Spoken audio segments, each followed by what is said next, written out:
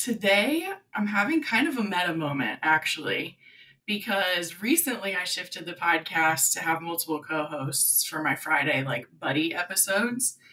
And the whole idea that I got that from was from a show that Mackenzie Green, who's with me today, co hosts with Taylor Strecker, where they just have different hosts all the time or different co hosts. So when I kind of needed to change some stuff up with my buddy episodes. I went that route. And then I, you know, was just feeling crazy and asked Mackenzie if she wanted to be on one day. And so now she's on this new co host podcast. Heck yeah. So welcome. Thank you for having me. I'm so, honestly, I'm so excited. You have no idea. Oh my gosh, I am too. Um, a couple things about Mackenzie. She is the VP of social for Who What Wear and Clique Brands, and also the social strategist for Who What Wear and Marie Claire.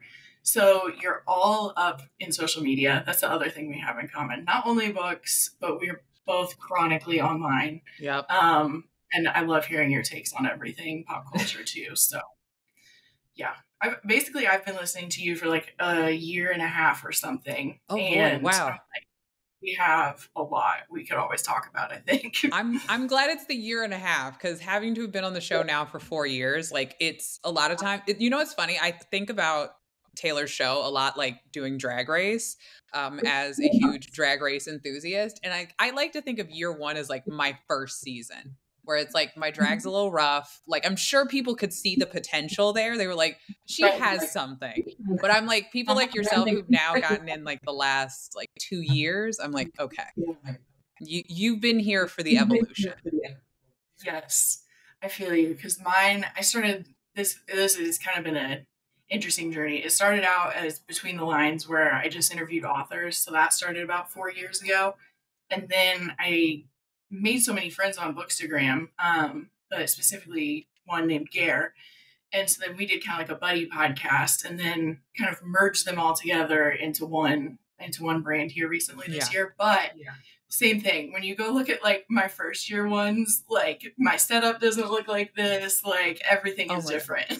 I don't think people understand. It is there's nothing funnier mm-hmm. than looking back at stuff like that and having like those moments of cringe. Like I look back now and I'm like, oh, you guys enjoyed that? Like I still have a job doing this. yes. Yeah.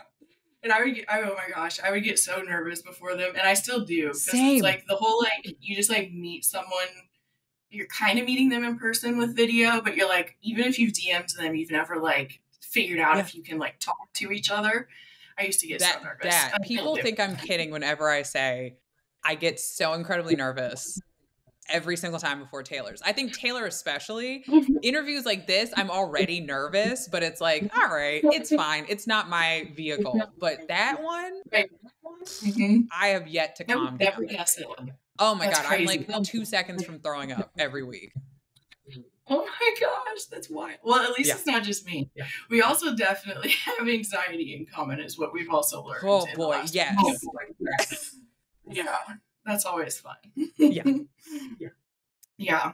So anyway, what I what I had started to notice, I know you you have kind of a book club yourself as well. Yeah. Which you have to tell me more about that because I was looking for like links in your social and I don't I don't know I know. So here's the funny part about this book club. So Mhm. I obviously adore like what Reese Witherspoon has done, what like Jenna Bush Hager. And so I was looking, we were shooting a cover with Kaia Gerber. And she, I was looking at her Instagram and she just would like put up a book once a month and she'd be like, hey guys, this is the book for the month. I highly recommend you read this with me. And I was like, oh, that's cool. I'm just going to do like a super chill, low maintenance, like once a month, just throw a book up on my IG and just like suggest people read it. Well, people didn't want low key. They still don't want low key. As low key as I make this, they're like, I don't want a nonchalant book club. So it will slowly. So it's funny you say that. I actually need to go and put all of the books from the book club in an Amazon storefront for folks. And I've even Mhm. toyed with a couple of people who are like super into reading the books I suggest with like launching a broadcast channel for it. But it was always just meant to be like, hey, want to get back into reading? It's August. Read this. But now people are like, girl, I want a club. I want to talk about it. So I'm like, okay, the streets are demanding. I will Uh-huh. respect. Yeah, yeah, that's what because I've debated doing one, and it's like at this point, keeping up with like this with two or three episodes a week, and then work seems to be enough. But you know me, or Yeah. Listeners know me. I'm always like, let's just add something else. Like, let's Yeah. try something else. And, And also, I'm to sure you're a little bit like I am, where it's like, I just enjoy reading so much that nothing is more of a bummer to me than when somebody is like, yeah, I just can't get into it. And I'm like, well, you just haven't read the right book. Like, you know, it's like the way I feel about Marvel. Whenever people are like, I don't like superhero movies. And I'm like, you just haven't watched the right one. Your boyfriend made you watch the wrong one. Like, I just immediately Yes. go straight to like the issue isn't the genre it's the fact that you haven't you know so it's like immediately if Yeah. a woman's like i like spicy books i'm like you should watch fa- you should watch the winter soldier and they're like why? I'm like i have a movie for you if you like book talk spicy books and then they're like huh? And then on the flip side of somebody's like i love bridgerton specifically season one and i'm like okay so mm-hmm. you like smut. I've got the Yes. book for you or if they're like i like 24 i'm like mm-hmm. i got the book for you hold hold please Yes. Oh, yes. Yeah, so the cool thing is you definitely read multiple genres. Like you kind of oh, read across the board. oh yeah And oh, I, it's not that I'm like, I want to be very clear. I do not look down on any genres. I, I just wish I could lock in to more. And mostly it's like thrillers and suspense yeah and kind of like, like I have gotten into, I don't know if you've read, did you hear about Kitty Carr? Oh, like yeah. that's, oh yeah. Like that, sometimes those, like where it's like a, a saga and like deals with women's issues, that's kind of something I can normally get into.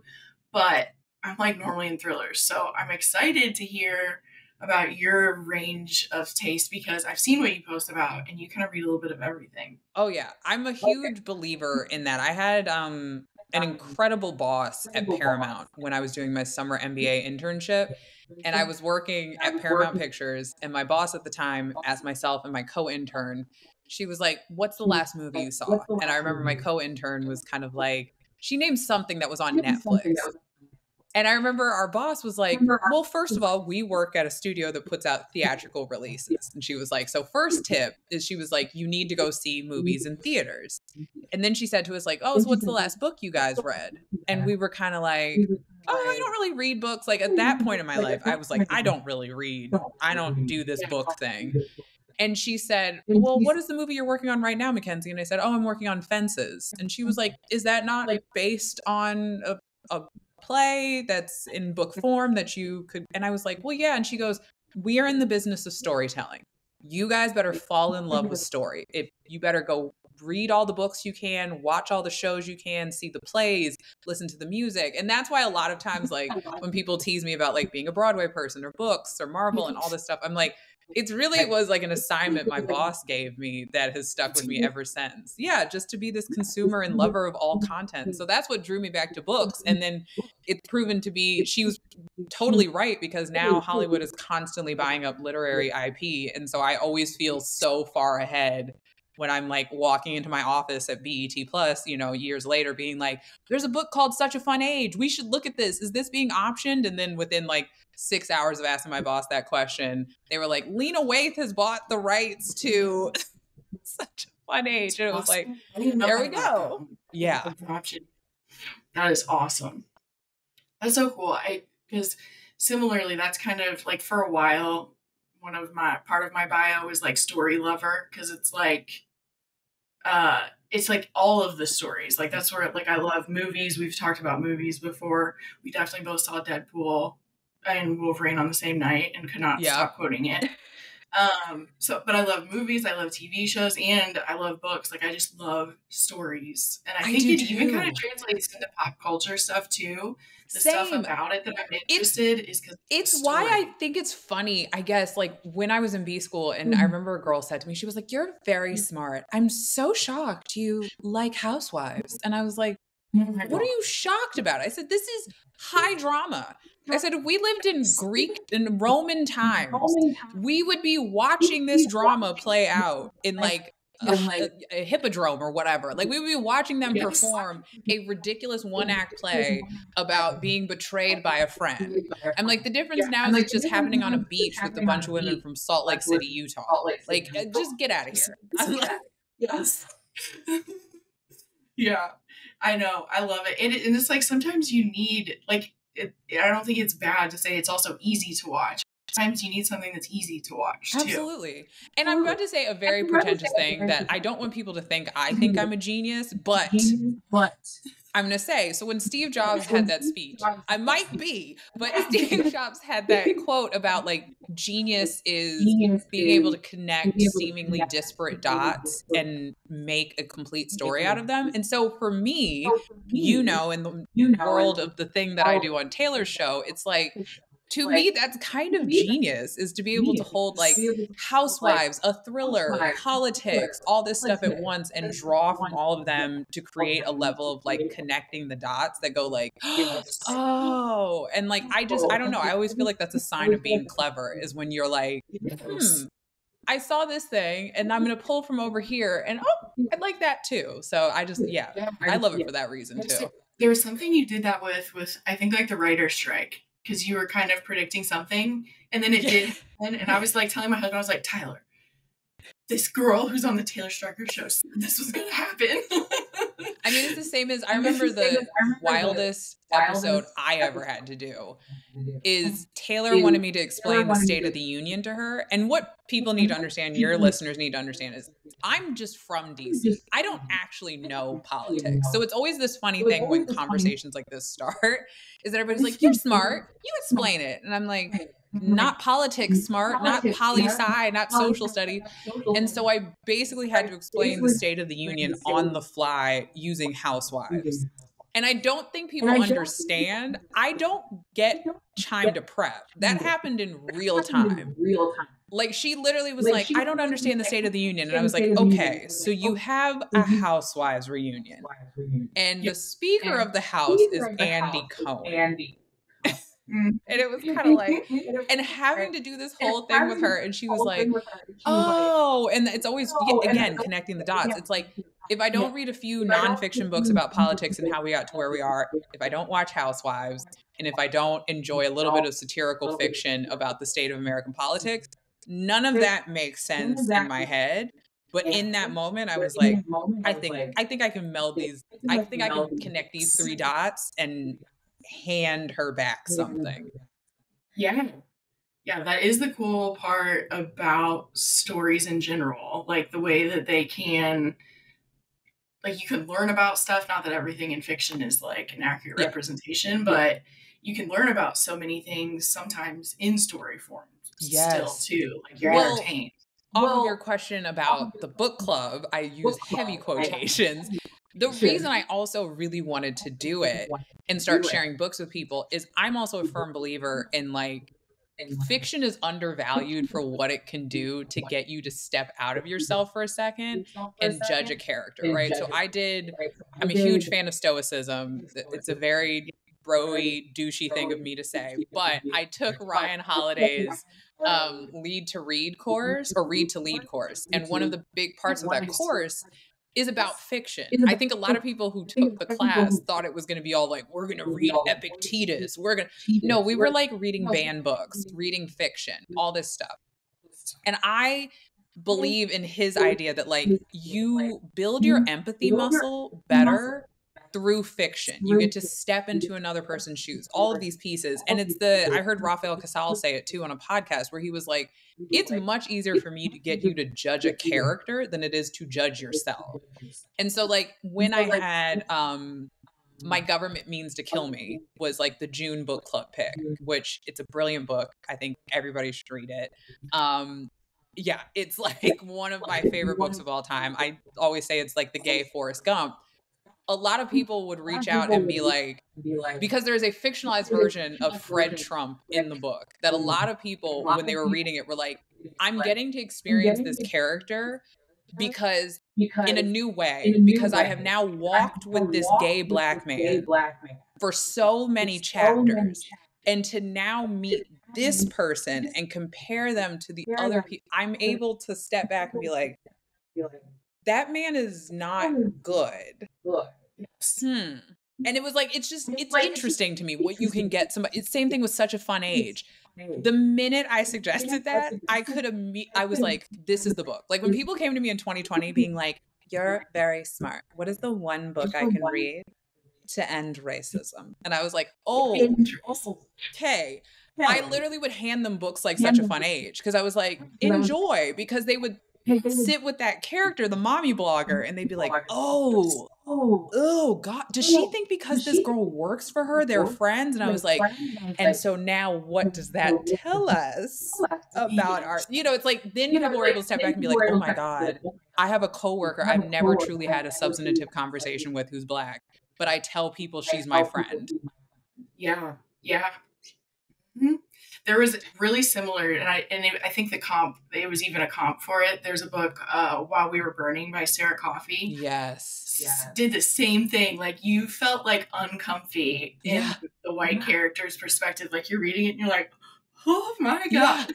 Or it's like watching people I know now reading Yellowface Yellow face. who are Yeah. like, Who are like, oh my God. Or my even just something as small as you said, Kitty Carr. Like Like, people would come to me and be like, I loved Evelyn Hugo. And I was like, okay, Yes. if you like Evelyn You Hugo, like Evelyn read Kitty Yes. Carr. And then I'm like, now what do you notice I'm about like, these two books? And they're like, they're both set in old Hollywood. I'm like, no, they're both about women who choose to pass to make oh, it. So as you were reading, didn't that seem kind of crazy to you that when mm-hmm. given a choice, that you know, it's like It's like you can have a better conversation about these things when you hand them mm-hmm. somebody that they're able to look at from like a bird's eye view rather than like being in the muck. Because like I had to stop posting nonfiction because I remember at one point one woman was like, I was looking at your stories and I suggested hood feminism to my Alabama book club. And I was like, why would you do Why would you do that? Oh no. I was like, ma'am, and she was like, well, and then like within a month as they started, she goes, well, started, she goes, uh, about 70% of the book club refused to read it after the first page. And I was like, I could have told you that wasn't the book. I was like, I would have told you The Mothers by Brit Bennett or like, Vanishing told Half or like Bennett, something Vanishing, else. Like, Or like, yeah. I would have taken you down that That's route. Yes. Yeah, the timing of you bringing this up is interesting because when this episode is airing, it will be right after an episode I did with um, someone named Hallie Sutton. We did a whole episode about um, empathy with books because there it, there was an NYU did a study and like showed that it does increase Yeah. fiction does increase levels of empathy and then what was interesting is they also found out uh, the ones that the genres that did it the most was thrillers and romance Yeah. um so we just kind of talked about we talked about that a lot but then we all, we both talked about books that like we felt like helped you gain empathy for like something different Yep. so this is gonna be so cool that this episode is gonna be coming on the heels of Well, that off of, one. so well, off of your like empathy be like- point, it's like I never was a romance reader, and I got into romance because 2020, living in Harlem, you know, world's locked down. I'm like, Eh, when I'm not at work, I'm like attending pro, you know, demonstrations that are happening right outside my door on Adam Clayton Powell, and it's like, and I would come home and I would read Jasmine Guillory romance novels. Like it was just like, it was there was something so settling about like, coming from this crazy experience where you're like screaming don't kill people that look like me and then you're immediately like okay how do i decompress from this i'll read these fluffy fade to dark romance novels where black women are the main character and these men are falling off you know it was like and people would just be like girl what are you doing and i was like it's really fun to live in it was like it's fun to live in this moment and be like okay when we get through all of this this is the reality that's going to await all of us mm-hmm. out there love that. That's really cool. Yeah. I love that Thanks. perspective. That's awesome. Listen, I I- just and then I was going to say I was radicalized in terms of I'm looking at my insane book case because I want to make sure I got yeah. And then she was gone. Oh yeah. When we talk about thrillers yeah. and we talk about like missing persons and all this stuff, like that was a book that I, whenever people are like, I don't know, want to not trivialize, but like this conversation around like protecting women, all this stuff, I'm always like, I'm going to give you a book that is Yeah. going to hurt your soul. Yes. Like, never have I read a book that made me more like, oh, I need to I need to go for a walk. I need to yeah. leave this room that I just experienced this story in because this was devastating. Yeah. Yeah. I had one, I just read a book called Mad Woman that was a little bit similar to that, where like it's very heavy and it deals with like an adult woman who experienced domestic violence all through yeah. her childhood. So it, it is, it's like really heavy, but like I had 174 highlights because it's so good, like what yeah. it's pointing out. But then you finish and you're like, okay, maybe I could do a popcorn thriller now. oh yeah. Oh, um, oh, that book um, Grown. I don't. I can't remember the author's name, but it's like a fictionalized telling of the story of like a girl who got taken by R. Kelly.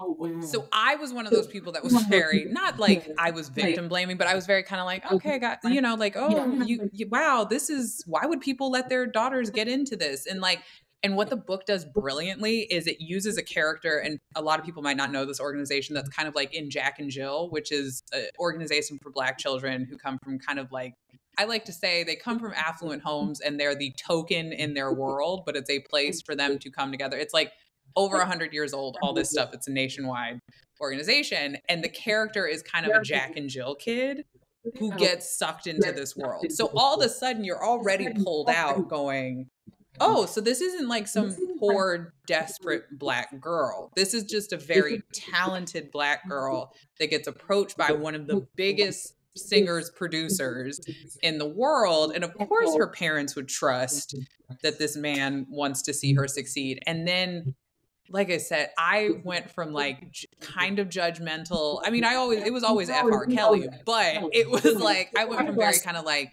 uh, I don't know guys at times to immediately I was like this is this is horrific. Yeah. Like, holy like, wow, my God. And it was like, and all of a sudden I went from being one of those people that was like, yeah, he deserves to be in jail. We also need to talk about these parents to immediately being like, screw that through that. The focus should just focus be these women and these girls because, like, if this is the path that brought a lot of them there, not okay. Yeah, that's what my my sister in law works worked with um, a nonprofit here who helps girls who've been trafficked, like kind of helps yeah. them like adjust back into life. And she had a similar experience where there's a town in Indiana that's like way more affluent than everywhere else. But it, was a white girl, but it same concept where like when she like drove to her house to like see her, she's like, this house is like a million dollar house, which is huge in Indiana. Yeah. Oh yeah, my mom's from Indiana. yeah, yeah, yeah. You know Indiana um, enough. Yeah. so she was having that same experience though, where she was like, it really can just happen to anyone, and yeah. you just don't realize it. But I think the the but interesting the, thing, and this is coming from somebody who loves documentaries, all this stuff, like it is yeah, a lot is easier to get people to step back and read a story. Yes. And go, oh, oh. okay, this can happen to anybody, or oh wow. You know, it's like it's like it's it's such a deep thing and i'm sure your audience is like is she always this dry? But uh sometimes. um but like i but i oftentimes like oftentimes like i think about little fires everywhere like that is such an interesting book where so many people can completely understand the conversations that are happening in that book. They can have feelings about the adoptive mm-hmm. family of the girl. They have feelings about the the family that moves there the affluent they can do all of that. they can do all of that. If you put that same story on the news people yeah. would not be people able to not be to have empathy and hold space for all three people and also see what all three women did wrong. We yes. most people would hear that on like a news thing and it would be like this is the good team this is the bad team. But when somehow when you experience it in a story you're like huh. Okay. Same thing it's like we can read a war a war novel and be like oh my god wow and what the soul meanwhile like then we'll be like I, I hate the military industrial complex and it's like yes that but also can you see how this young man had no choice in matter this young woman? Like there's so much more empathy we can express for a fictional character than we can for one another and even ourselves. Yeah so I'm a well, who knows if I've interviewed her at the time that this is released, but I'm going to be interviewing Marjan Kamali about she wrote The Lion Woman of Tehran. Um, and in the press kit that they said just ahead of time, one of the notes that she made is I I don't have it in front of me. Her one of her professors said the historian will tell you what happened and historical fiction will tell you how it felt. And I was mm. like, that is bar. it. Like that's a bar. No, I like that. Again, I love that. So that's a bar. Yeah, and so then when I was reading her book, which is like it's about 1950s to 1980s, where like women went from having most of the same rights as the rest of the world and then in like 1979 to 81 just lost all of their rights yeah and you do just feel it totally differently because you're like living with these two characters across their whole lives until you like feel yeah. how scary that would be to lose everything especially in an election cycle it was a little yeah. bit freaky to read yeah it's yeah it's deeply i don't know it's just it's i i this is going to sound again this will sound very pretentious but like i often feel i don't know i feel bad sometimes when people don't like books because i'm like you don't like looking at dead trees and tripping for a right? couple hours i'm like it's amazing it's so fun you should try it yes and you get the you get the interiority that's like what i've yeah. heard about like the empathy part is like not that you don't have empathy when you watch certain movies but you get the only the only medium you really get interiority yeah. of a character and yes. really could live in them is a book.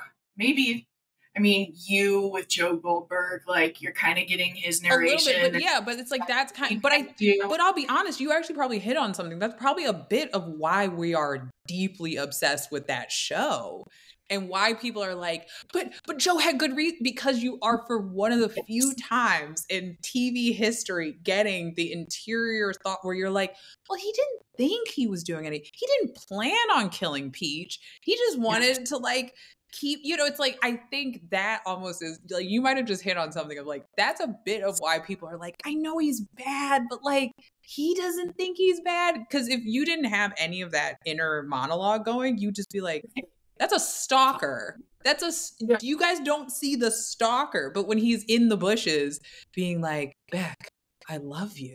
I'm doing this to protect you." You're like, "Well, he thought he was protecting her." Like it's the same as when you're reading a book and you're like, "This person's a monster." And then you're kind of like, "Yeah, but they weren't trying to be." Yeah.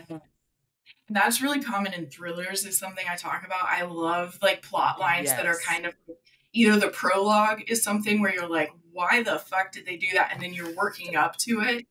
But I like love stories where you're like, I don't know how this person got to this place. And then you read it and you're like, oh, I would have gotten to the same place. Oh, a million percent. Like, um, I am terrified of my own shadow. I'm afraid of everything in terms of I don't I don't like scary movies.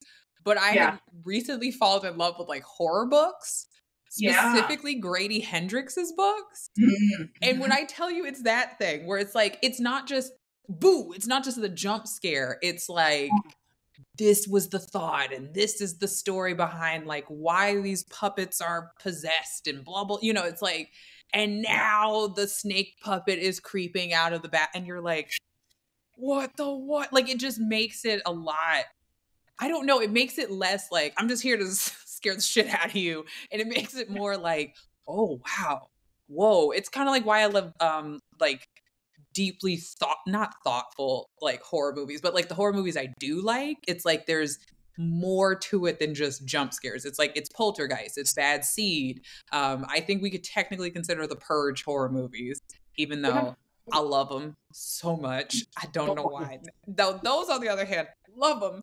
Go to Halloween Horror Nights just to see the Purge show every year now, yes. and I'm like, this is the most. I'm cheering, and people are horrified, and I'm like, murder, murder, murder, like. Yes. But yeah, it's like there's certain genres I can partake in as books yeah. over like TV. Yeah.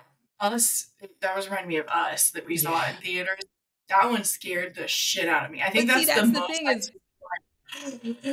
but see, those are like, but then also this gets to my other thing about like reading and books is like there are certain screenplay writers that when yes. they write or playwrights who get into literature or like screenwriters who release the screenplay as like a Yeah. book you can read.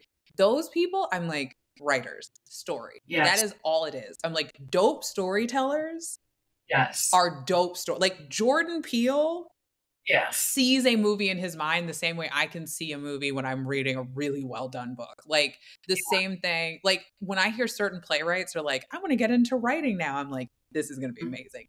I cannot wait to see what this is because you're going to have to now write out the full exterior moment that's happening, would usually happen in the stage directions. Or it's like, you can read August Wilson plays as books.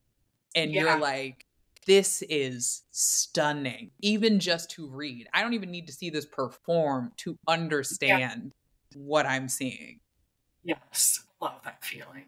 It's with so anything. You just lock in with something. Yeah. I always say one of the greatest storytelling moments I ever experienced professionally was working on fences, going to a screening, and all and it was like stuff was still getting color corrected and all this stuff, and watching Viola Davis do that monologue with literally minimal stuff done to the screen and just being like, what? The same thing, the late great Chadwick Boseman. Like, if people want to see some acting, watch Ma Rainey's Black Bottom. There is a monologue that Chadwick Boseman has in that that, like, you, for me, it made me cry, not just because the monologue was amazing. I was like, wow, we just lost that. Like, we'll never get to see that again. And it's just, but like, that's good writing. That's good storytelling. That's what I kind of ran into that um, with uh, the Quiet Place movie that just came out day one. Oh my God. So good. No, I went into it like I should have known I was gonna weep because I weep in all of the like I the first one I was just like like leaving the theater. So like I should have remembered that these are not just horror films. But then they turned this one into like a meditation on death and wanting to live and Oh, like all the yeah. in the last 15 minutes I was just like Oh, I was a mess. The last 15 because I just kept, I mean, spoiler, no spoiler for, but I kept being like, girl, you jump too. And then it hit me like, oh no, she, she was in hospice. She had come to terms with dying. She had made the choice and it was like, but he didn't. So I don't want to take that choice from him because I know what choice I'm making. And I've always wanted to do it on my own terms. And it was like, so, and I was just like, I was also really concerned about the cat because I was like, but then when I Yeah. realized he, yeah, but then when I realized he had it, I was like, oh, okay. Because I was real Yeah. concerned. I was like, girl, you going, you going to take this like, cat down? Make me care about a cat this Yeah. whole time. Yeah, I know. And I was like, I don't even like cats. And I grew up with one. Yes. Yeah. It was like the moment that I realized, I don't know if you've heard, Ram Dass has a quote, like, we're all just walking each other home. Yeah. And it was like when they, with that scene in the bar, like, it's very quiet. I I mean, everything, a lot of it's quiet. But when we got to that point, I was like, we're all just walking each other home. And then I just couldn't stop crying the rest But of when the you, time. but when we talk about like writing, right? It's like, that's a screenplay where I'm like, I don't care if it's 20 pages of like a novella. I would love to see what was put on a page that Mhm. elicited both Lupita Nyong'o and Joseph Quinn to be like, I can do this. Yeah. Yeah. She is stunning. Yeah. I mean, it is so much of that movie is all face. Like, Yeah. You're just having It- and, and it's and it's moments like that that make you go, oh, that person is a storyteller. Like she Yeah. can take Nikita from Black Panther, she can take a slave from 12 Years a Slave. Like she can take anything. She can take dead silence and Yeah. give you back so much. And it's just like, Yeah. and that's where like I I'll never not love story. Like, and and I'm forever so grateful to Karen Hermelin for saying that.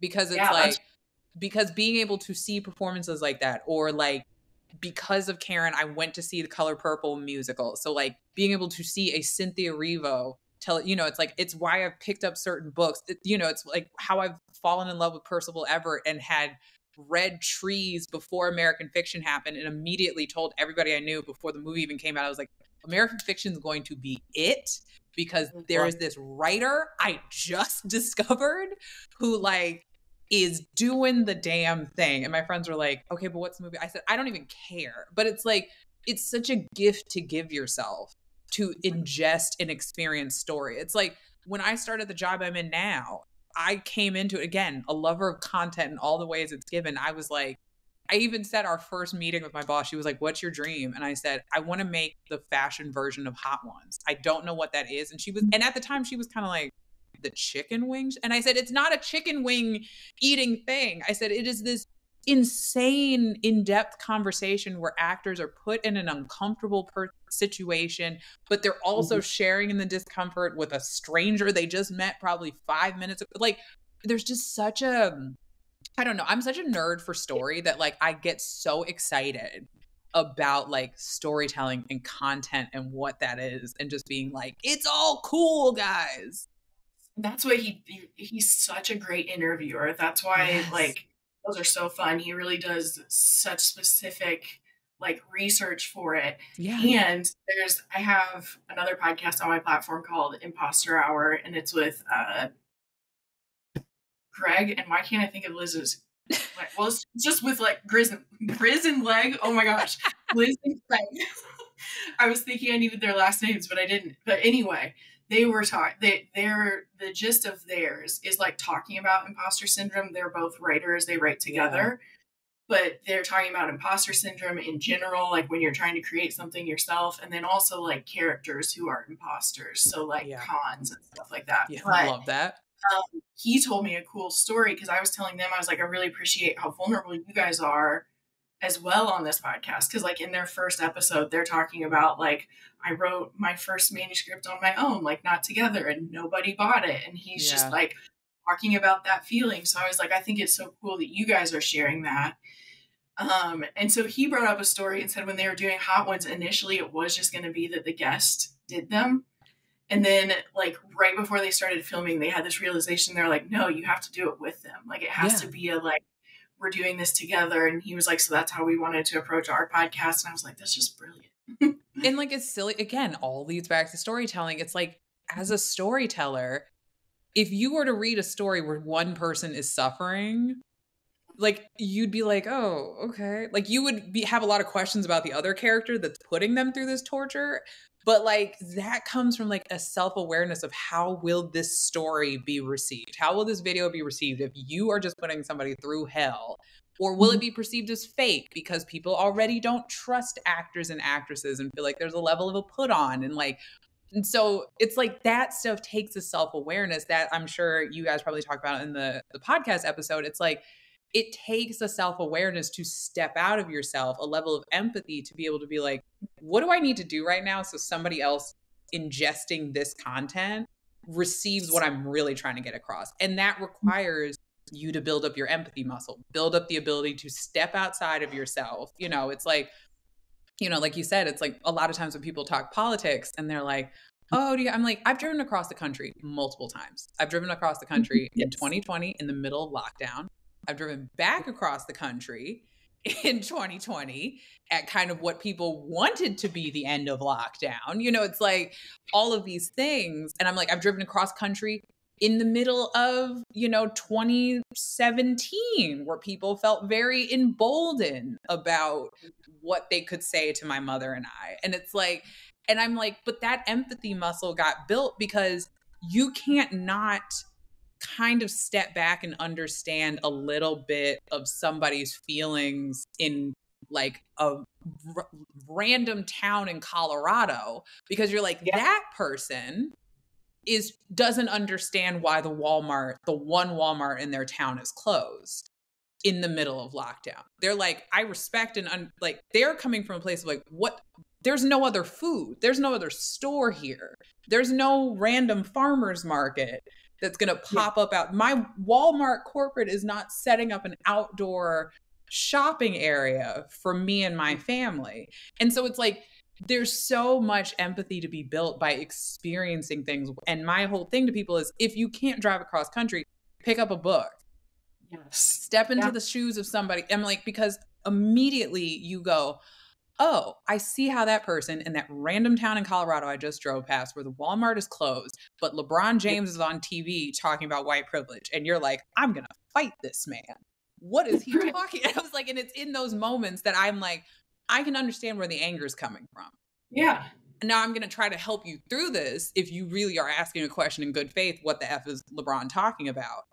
But I also know what your anger's rooted in and I also yeah. know the disinformation or like the false narrative you've received and it's like and in those moments I'm like so might I suggest to you if you're open to it you know invisible man uh their yeah. eyes were watching God like you know it's like even when I see you know anything, like whenever people ask me, and we'll get into it talking about my favorite books, but it's like when people ask me like, "What's my favorite business book?" I'm like, it's a fiction book that has one line in it that has been like my north star professionally ever since the moment I read it.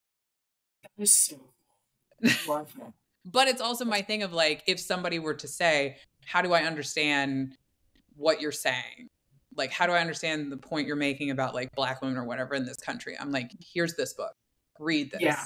read yeah. how silly the thought is within this book of this entire town that everything could be blamed on this one black woman and even mm-hmm. in her death they can't come to comprehend that maybe she wasn't the source of all their problems and then it's kind of like you're able to go oh yeah. Cool. So yeah, I'm sure your audience is like, this lady likes to ramble. Sorry, guys. Do so that's the audience. I'm assuming that's the audience I've developed. but um, I actually, in that empathy episode uh, earlier, talked to point. There's um, Kellye Garrett wrote a book called Missing White Woman, and yes, I've heard about this. So good. And the first chapter is like you're immediately terrified because of this this black woman is arriving at like her boyfriend's Airbnb, but she's arriving at night and she's in a city that's not her hometown. And so she's feeling like, okay, I kind of need to pay attention. So, like, the first chapter is really just her like walking from her car to like getting to the door and like seeing a white woman behind her who's like just watching everything she's doing. Yeah. And so you're like so nervous the whole time in this first chapter. And so all of the thrill and a decent amount of the suspense of this book is actually just that she's uh, scared to be in a new town uh, as yeah. a black woman. Then she walks. This is in the synopsis. She walks downstairs after their like third day there, and her boyfriend's not there, and there's a dead white woman at the bottom. I literally, I read, saw this book and I was like, yeah. I gotta read this. And then I was like oh, laughing because I was like, this is the kind of book that if I read and I post, I get at least one DM that's like, I have questions, and I'm like, I don't have answers. Read it. Read the book. Send them. I have a podcast episode with them. So if you do, yes. or with Kellye, See, so there we go. I do.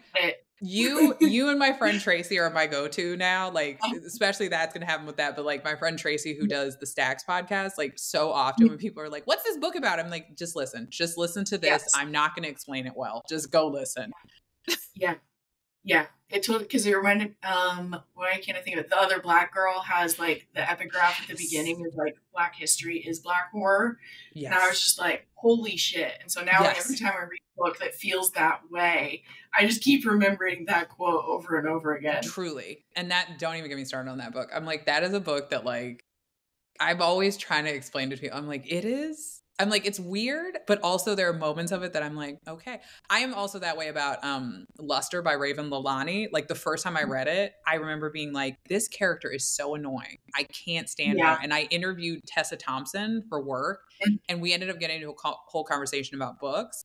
And I said yeah. to her, you guys just option Luster. Like that character, she's pretty awful, right? And I remember Tessa was like, yeah, there have been a lot of really annoying white like protagonist of books for quite a long time and she was like I read it and I'm like, there's no difference between that girl and Lena, like, and Lena Dunham's character and Girls. And it was like, but the problem is we're so used to like black exceptionalism that watching this girl make just like stupid decision after stupid decision, we're like, that's not what you're supposed to do. And she was like, but that's kind of like a thing we need to embrace is like sometimes black women do dumb, reckless shit too. And I was like, oh, you're right. Like, you said that about challengers too, and that stuck in my head. I was Truly. like, yeah, that was the part good- that stuck with me about that movie because I kept waiting for like Tashi to be good or like give a pep talk that was going to encourage some, and then I had to sit back and be like, why do I think it's her job? Yeah.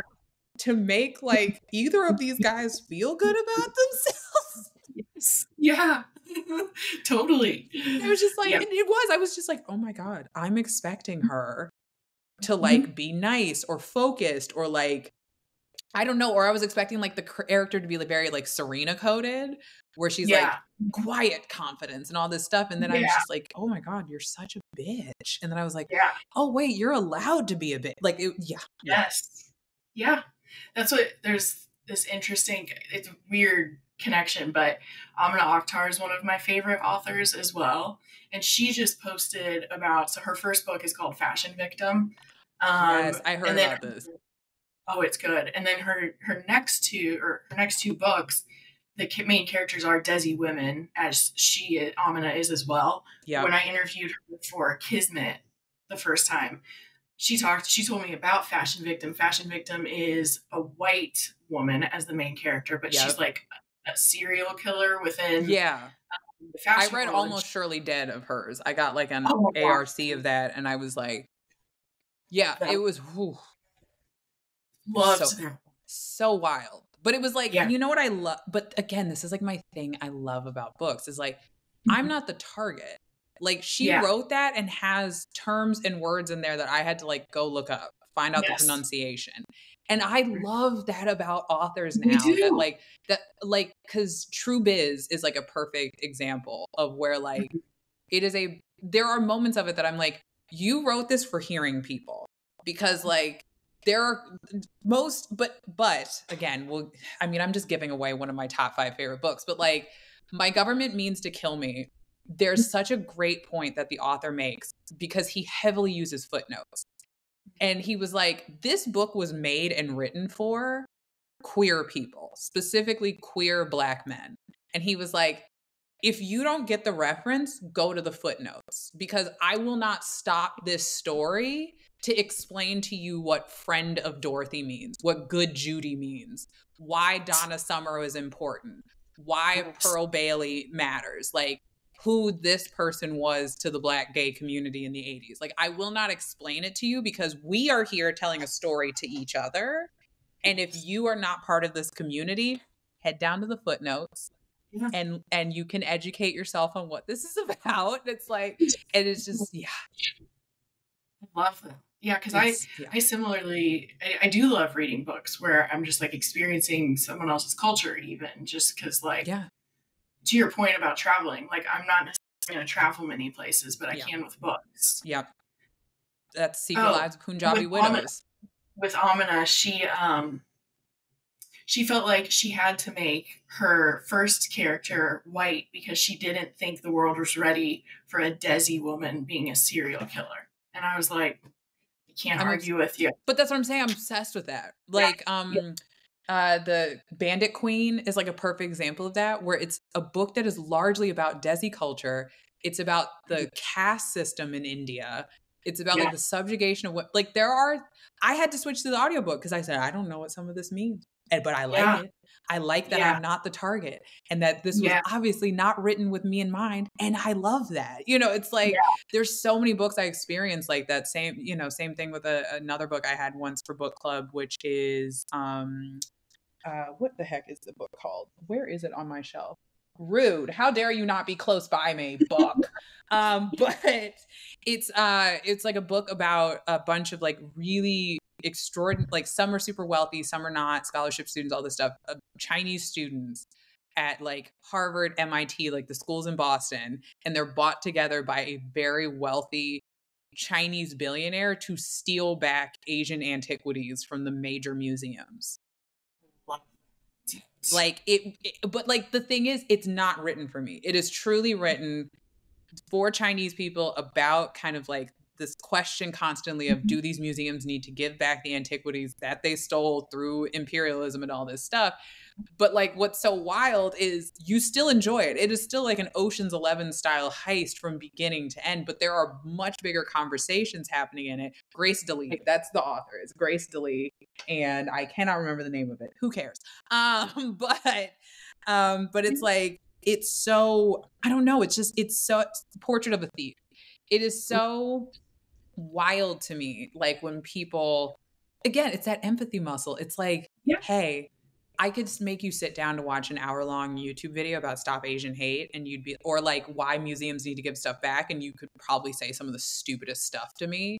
But like here. And simultaneously your mind is blown because off of the author's point, I realize as I'm reading it of like, oh, these character, this one character that is this Asian woman who's like really loud and brash and like rides a motorcycle and all this stuff. I was like, oh, this I didn't need to see this character, but there is right now a young Chinese girl who isn't Yeah. the the stereotype who needed to see this character on the page.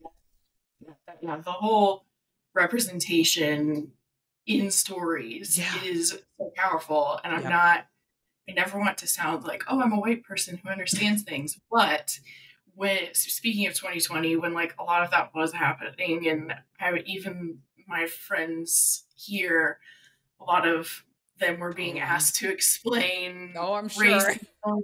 I, I know you did it as well. Um, and so, but then the white people around me would be like, I didn't know Yeah. that like they were still scared to get in their car or like And you at know what's, night. And but you know what's funny about story is that you want to turn to that person and go, "This is news to you," and it's like, "Yeah,", Yeah. and you're like, "Might I introduce you to Toni Morrison, Zora Neale Right. Hurston, James Yeah. Baldwin, like Yeah. Octavia Butler. Like Yeah. I can give you at least six authors who've been trying to tell you this whole time that you know, it's like, do you think Jordan Peele made Get Out just from like a place of fantasy? It's like, Yes. no, these Yes. Coming from where I was realizing like I don't have tons of black friends in Indiana. I mean, they exist. But what I was realizing was it had been the representation in stories was the reason like this stuff wasn't shocking me. Like it's Yeah. not like I thought it was a great thing, right? but it's like th- yeah. Blackish had just been like dealing with like all kinds of Like and people I yeah, knew who had read The Hate You Give Yeah. Were Yes. like immediately following Trayvon Martin were like, why are people confused? And I was like, Yeah. or they were reading The Hunger Games. And I remember like to this day, I have a friend who's like, like the most like white woman from Indiana ever. She's one of my Kappa sisters. And she goes, when I was reading The Hunger Games and they were describing Rue and Thresh, I was mm. like, oh, they're in a like farming ish ta- agriculture town. Everybody's poor, and the skin is described as like amber. She was like, I immediately was like so confused when Amandla Stenberg got hate as a child. And she was like, because I read that book and I was like, oh, they're talking about the subjugation and disadvantage poor people get into across all socioeconomic brackets. She's like making a great point, and I just No. disappear. Story of my life. Listen, I know podcasting. Podcasting 101, don't you? Oh forget. my gosh. Uh, There we go. I mean, I don't know how I feel about astrology. Like I'm very open to it, but it doesn't always match me. But some people were like, the moon is giving you tech issues, and I'm like, No. I'm hanging I'm now. convinced that's why I had my anxiety attack because it was the super blue moon. Oh yeah, yeah. That's what you were saying too. Yeah, my mom was. My mom immediately went to "It's the moon," and I was like, "Lady, Yeah. it's I'm chemically imbalanced," and she was like, "It's also the moon." I know. That's what when you said that, it made me realize because I was having last week like what I've now come to realize, like you can have emotional flashbacks that are happening in your subconscious. Yep. You're with me. And it probably happens to me once, maybe twice a year. Like I've been through enough therapy, it doesn't happen as often, but it was totally happening. I was like waking up feeling like I, I wake up and I feel like I'm little yeah, and young and like how am i going to do adult things today and you just Yeah. have to be kind of tell yourself like it'll go away if you just keep doing stuff Yeah. i guess well, you know, Yeah, it's also so really yeah, funny. Yeah, when you're like highly self-aware, like you just said the the magic word, Mm-hmm. where you're like, when I've been through therapy and I know stuff. Again, things I've taught myself through reading about Stoicism, which is the basis Yeah. for a lot of therapeutic stuff. Like it was Yes. this funny moment when I'm like honest about it, and people are like, "Do you think?" I'm like, "No, no." The sheer fact that I just named all the feelings and the things, you're on the other side. If I got on Yeah. here and, and was behaving like I was a couple days ago or feeling like I said those things, then we could all be like, Are you okay? And I'm like, the fact that I'm Yeah. now on here being like, Well, I was having anxiety. None of those feelings were real. My panic Yep. was completely unwarranted, and I had a small Mhm. bout of depersonalization. I'm like, guys, that is a clear indication your girl is fine. We are now able to step back and be like, yes none of that was real. I was scared for no reason. yeah that's but again, speaking of story, it's like I tell everybody I know, I'm like, go see Inside Out too. And I'm like, if you want to understand what anxiety feels like, I'm like, that will perfectly explain it to you.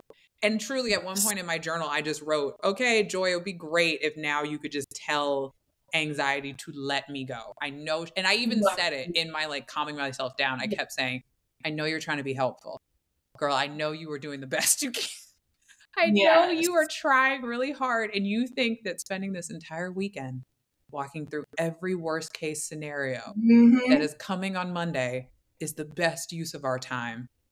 But it is Right. not. And I was like, and while Yeah. you're at it, please stop replaying everything that could potentially be proof that you're right. So shh, go away. You got to stop, girl. Yes. Yeah, and it is. It's I, some of that is stoicism. Some of it is a little more um, Buddhism as well. But like, Yeah. if you're able to, I, I love Pete Holmes. He just has some like cool takes on I do too. spirituality. As somebody who is also very deeply Christian, but also aware Mm. that all the other religions hold a lot of validity. yes. I love him. Yes. Like when I run across his stuff, I feel like I I'm like wherever Pete is on, this is where I am. I'm like when I try to explain, people are like, "Oh, so you you're like Christian." I'm like, "Okay, so I'm going to introduce you to a couple people." Yeah, exactly. Make this make sense. Yeah, and he from so I think it was Buddhism is like where it, where it was coming from, but I think they all have a lot in common. But he talked about like if you can like sit there and close your eyes and like feel your big toe, Yes. and you're like, okay, I'm glad we heard the same thing because I remember once hearing him talk about in Buddhism where he was like, he was like, just put your hands down, and he was like, just feel your hands.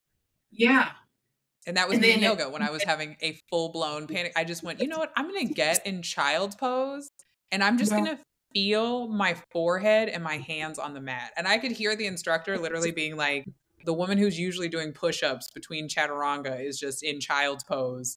Yeah. Like trying to figure out where life is. And I was like, yep, yep, Yeah. this is where I am.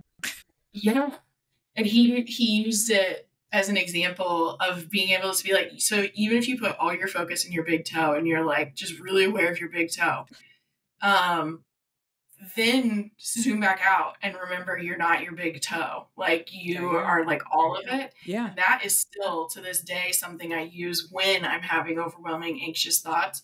I'm able to like be like, I am experiencing anxiety. I am not anxiety, but I am experiencing it. And even if it doesn't make it go away, it helps me just like keep living until like something shakes loose. But I love Absolutely, his yeah. with that.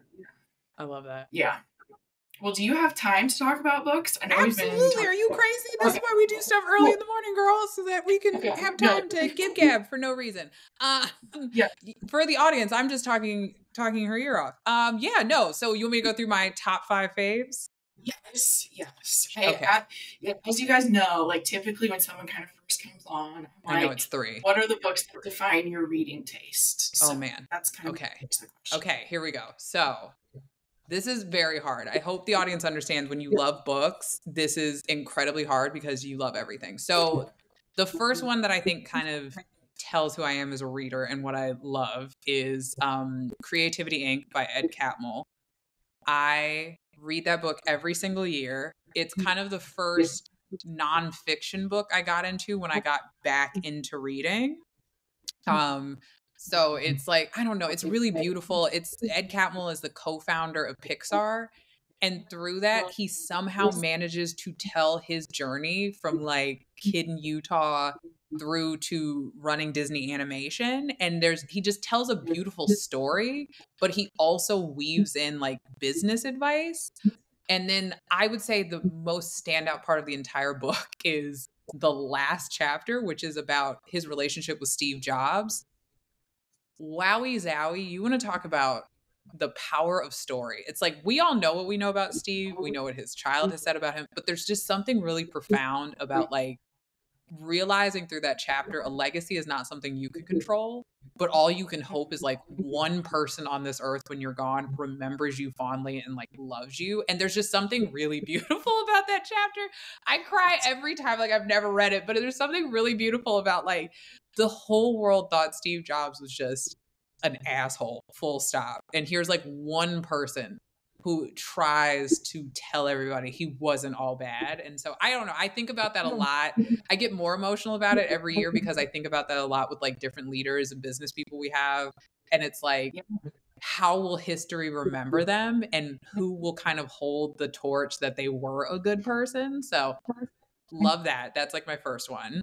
I love that. That is fascinating because there is someone who Yeah. probably It's like- loves the most crazy people. Right? It's like I like I think to myself like I know what I think of Elon. I know how most of us were, but I'm like who is going to be the person that like or is there? Like that's the other part. It's like is there going to be somebody who will Yeah. outlive him and like write something to like he he didn't get everything right, but here's the thing. And it's not because I'm an Yeah. Elon sympathizer. Please don't DM me. I call him apartheid. Clyde, guys. But like I just it's something so fascinating. Um Well, This- somewhat similar. I want to be very clear. I am not a Donald Trump supporter. Exactly. That's what I'm saying. It's like when we think about this. But Theo Von Yes. him on his podcast, and I saw a clip of Donald Trump just like having a conversation, right? Like I and I realized I'd never seen it, you know. And it was just like this weird thing where he's like asking Theo, like, because Theo's just an open book, and he's like, yeah. "Yeah, I was on cocaine for a while," and Donald Trump's like, "And what did you like about it?" Like, That's what I'm saying. It's like it's like so you're almost weird. like yeah, it's like there's um there's this black comedian I love, and he's like a huge fan of Joe Rogan. The same thing, Yeah. Patton Oswalt. I adore Patton Oswalt, and Patton Oswalt will be Mm-hmm. like, I've known Joe Rogan for decades, Uh-huh. and he's like, he's he's not all bad. And it's like, meanwhile, it's like anybody who knows Patton is like, wait, but I thought you were gonna be like, he's and he's like, no, he's I like, know. I have a lot of critiques, and I, but I'm just like, that's Yeah. crazy. So I, I that's like Yeah. that's my that's my first book. Um, Yeah. The next one I've teased so many times, which is My Government Means to Kill Me by Rasheed Yes. Newson. That book is that book is the book that like it made me want to start my little digital book club because I literally was like, mm. I just need Yeah. people to read this book. I just need Yes. the whole world. It is brilliantly done story. I love I love the use of footnotes. Like That- that is truly cool. it is so cool because every chapter, every single thing is like the most niche specific like commentary or moment towards like black queer people and you're like Yeah. what and then all of a sudden you go to the footnotes and he's fully explaining it and you're like oh thanks like it feels like you are getting to like eavesdrop on like somebody's personal conversation but then there's like a friend on the side who's like hey so that means blah blah blah blah blah and you're like oh thank you so much but it's also just so brilliantly done it really is a black gay forrest gump because I have You- to read this. you have to read it. There are literally characters you encounter as the character is going that you're like, oh my God, that's Bayard Rustin. Holy Yeah. crap. Oh my God, that's Fred Trump. Oh my God. He, oh my God. Like, just like it truly is Forrest Gump, where you're like, you're at a party with Pearl Bailey. Oh my God, you're at a party with this person. Oh my God, that's how Angels in America got. Like, that's not how it got written, but he Yeah. makes you Yeah. feel like it could possibly be how this happened. It's so That's good. cool. It's so good. Now, this Oh third my one- gosh. And it takes place in Indianapolis. I just saw the synopsis. Yes, Wow. that's also what made me pick it up. Is because my mom had a really good friend growing up that she and Uh-huh. this friend, he was queer, uh, drag queen, all this stuff. His family didn't support him, but my grandmother did. And so Mhm. it was kind of like, well, if Phyllis is going to go off to New York, you guys can go off together. And Mm-hmm. so it made me think of him as well Mhm. because, you know, I never got to meet him. He died of AIDS long before I was born. I think even before my parents met. But like, I oftentimes say that, like, I assume Stan is my fairy godmother a lot of times. my and like, God. and I think about him a lot. Um, Yeah. probably even more now as I get older Cool. and my mom gets older because I'm like, he would have had all the stories. He would have been able Yes, to like tell me even more. So yeah, so yes, I highly recommend it because it does start with him leaving Indiana. And for anybody that's from Indiana or has deep roots in Indiana, when you find stuff that involves Indiana, that was me You're with like, Kurt Vonnegut. Cat's Cradle, the minute he Yes. dropped like Indianapolis in, I was like, this is the greatest book ever. Yes. Nothing happens here. Yeah. People are like, what? I'm like, you have to read this. It's amazing. Yeah. My third book is a little Uh-huh. controversial. Oh, I know for it. people hate this book whenever I say it, but it is Chloe Benjamin's The Immortalist. Oh, I have not. When I tell you people people hate this book so much, but I love this book so deeply. Now this is so when I got back into reading, I had come back from Paramount. My boss had admonished us about how we needed to consume content. And I was like, books? And she was like, and books. And I was like, Ugh, books. And so that was around the same time that Emma Roberts launched Belletrist. Mm-hmm. And so I was reading all the Belletrist picks, and this was a Belletrist pick that I was like, are all books like this? Because people have to Right. understand, I grew up dyslexic. I also went to Yeah. very hoity toity private schools where you were like Mhm. forced to read Jane Eyre damn near every year. I hate that book so much. Wuthering Heights. Oh my God. I wrote a whole dissertation once my freshman year about how Emily Bronte is a Nepo baby. At the time, it wasn't even. What's crazy is this wasn't even a term. So at the time, I wrote a whole paper about how Emily Bronte only got to where she is because of nepotism. And I remember people were like, "What?" And I was like, "Yeah." And I turned it in my teacher. I was very proud. I was like, "Enjoy." You, This lady's you've been horrible. True to yourself from the beginning. I have like when that that audio on TikTok of like Maddie knew who she was even at a young age. That was me. I have always been like ten Yes. toes down in my nonsense. But Yes. I got into.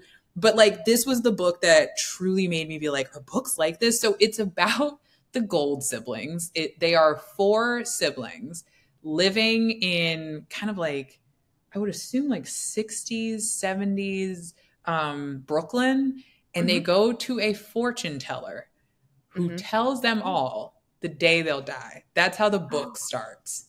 Oh, wow. So you don't know as you just know that each kid goes in and then they come out. And Okay. then the book goes from there of like Okay. And so what I love about the book as somebody who loves the concept of memento mori and all this stuff is seeing how each of the siblings takes that news. Mm, Some siblings choose to live boldly and loudly. wow. Others choose to just constantly put themselves in danger because it's like, I already know when I'm going to die. So who cares? Yeah. Like they live in a reckless way that you're constantly kind of like, oh, okay. Others are like paranoid, looking over their shoulder constantly and not able to fully be present in what they're doing. And then like others just close themselves off from the world and live such Yeah. a sad existence.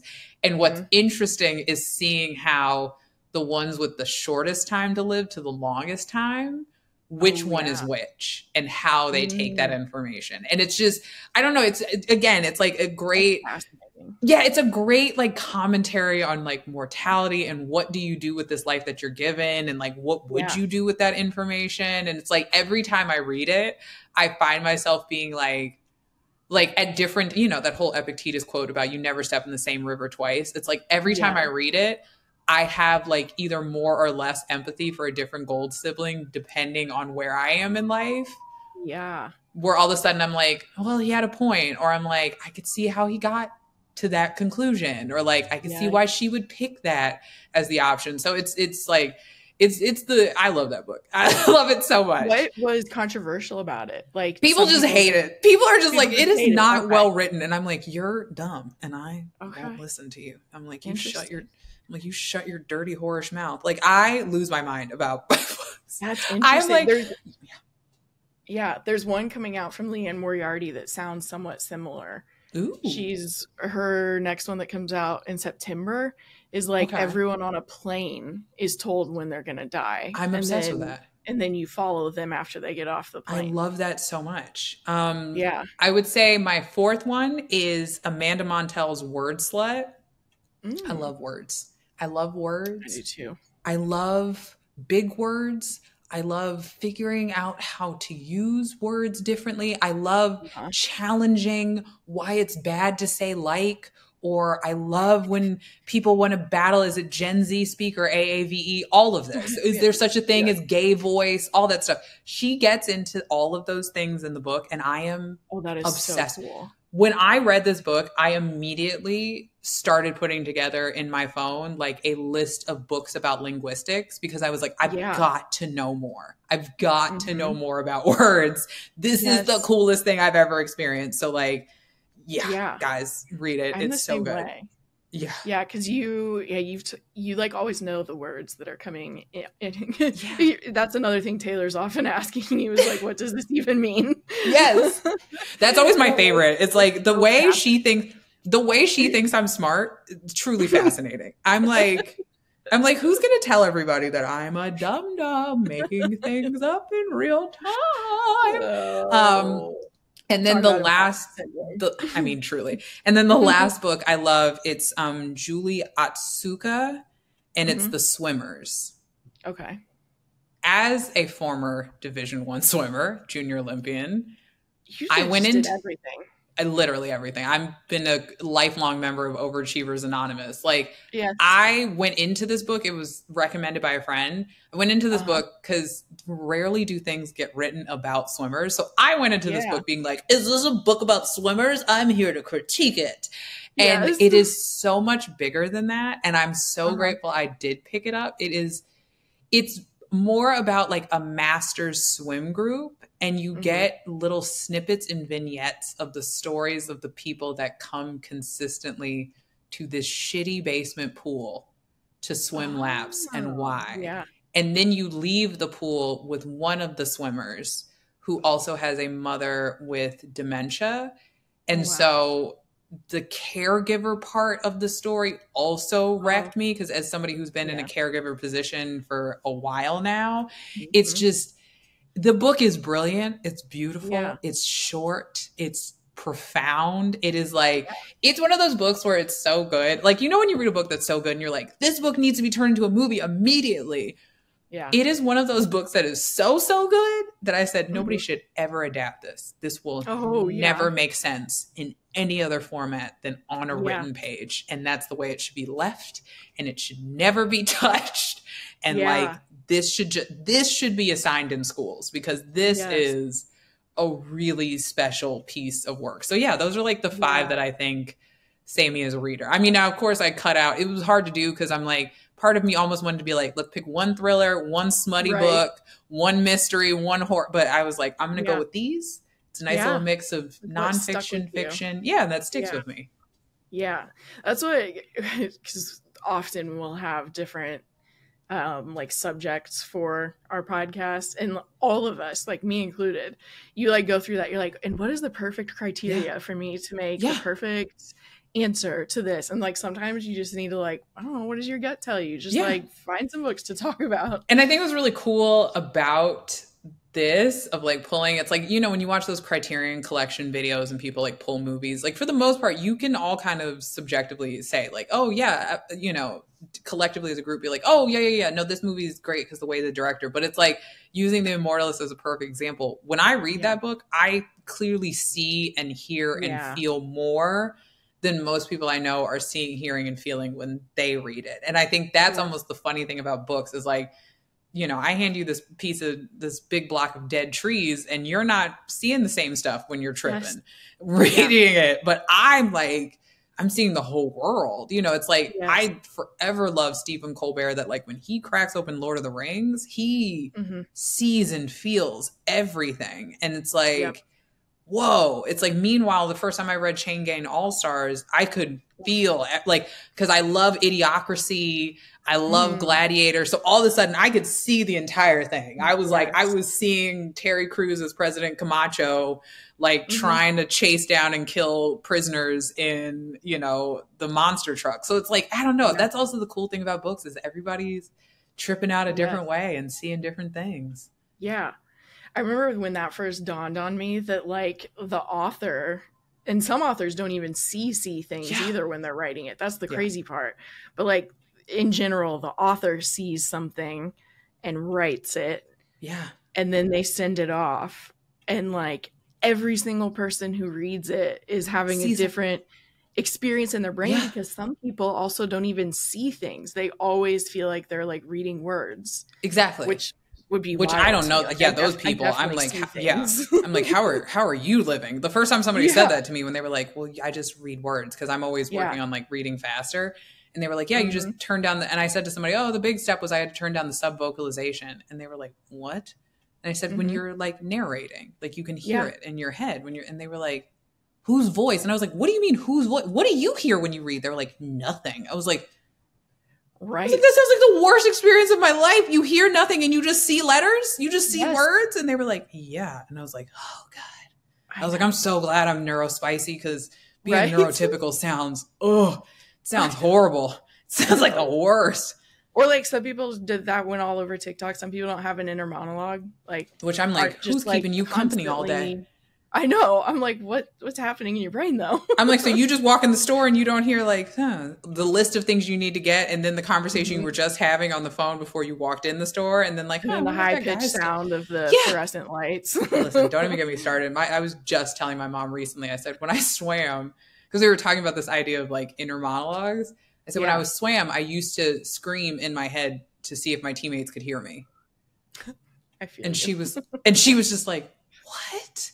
I said, used to just- sit on the couch next to my mom and think thoughts and be like, Yeah. "Can she hear them?" Yeah, I would just be in the pool and I'd be like, I wonder if everybody can hear me screaming in my head. Yes. And she was like, So you would scream underwater? And I was like, No, I would No, in scream my in my mind.